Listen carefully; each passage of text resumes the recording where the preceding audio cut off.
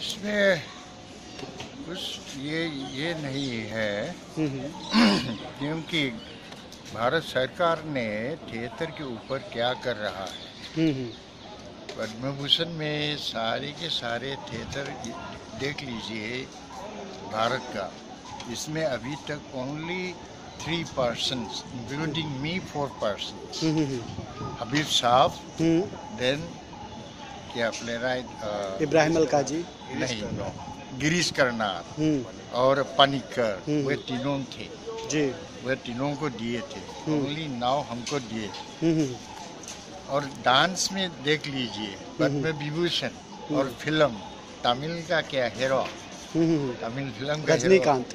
रजनीकांत को ये ये अ, ये क्या?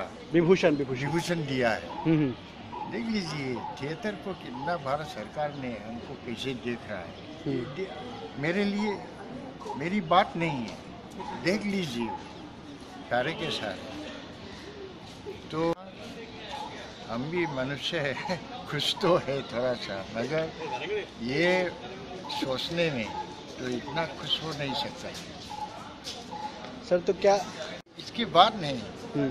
वह लोग नेग्लेक्ट करता है। हम्म, नेग्लिजेंस की बात है। हम्म, और कल्चर जो होता है ना वे लोग कहाँ देखा है? फिल्मी वर्ल्ड को देखा है। हम्म, फ़िल्म का बड़े बड़े है ये है। फ़िल्म तो they are selling themselves hmm, है ना? स्टार क्या होता है? दे सेल देमसेल्स पैसा मिला है बहुत। और हमारे थिएटर वाला क्या मिला है। करके रहेंगे ऐसे ही किया था ऐसे ही करना है ये मिलने से जो हम क्या हम्म। क्या और लगाएगा? हम्म, कुछ नहीं। नहीं हम्म, जैसे भारत में जो देखा है ऐसे ही है। नॉर्थ ईस्ट में कोई स्पेशल ये फोकस नहीं होता है। ऐसे ही होता है। साधारण। हाँ। इसको छोड़ के अननेसेसरीली थिएटर का फॉर्म जो होता है आपने बोला क्लासिसिज्म ये ये ये हम्म। फलाना। इसके बारे में बोलने से क्या मिलेगा? हम्म, तो आजकल हम जो रहा है हमारा सोसाइटी का मनुष्य का ये। कंडीशन ह्यूमन कंडीशन इस क्या हो रहा है? इसको पावरफुली दिखाना है ना? पावरफुली दिखाने से ऑडियंस के इंद्री पे सेंसेस पे उनका साइकी पे लगाना है हाउन करना है। नहीं तो बात लेक्चर जैसा कहानी सुनाने से कुछ नहीं होगा। थोड़ा सा धक्का मारना है ना। धक्का मारना है।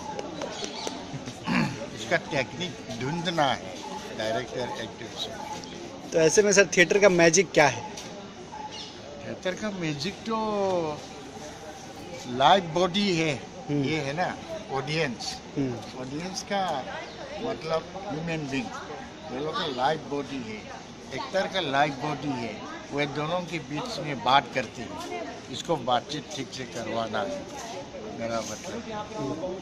फ़िल्म का एक्टिंग तो कैमरा के सामने एक्टिंग करता है हमारा एक्टिंग तो आपके सामने करता है है ना?